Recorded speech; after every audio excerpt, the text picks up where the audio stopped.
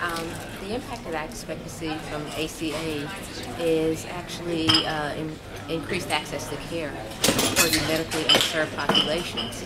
Um, I, right now, I practice as an OBGYN at a federally uh, qualified community health center, and uh, our mission has been, you know, from day one to provide care for the, um, the, the large populations that are medically underserved and don't have access.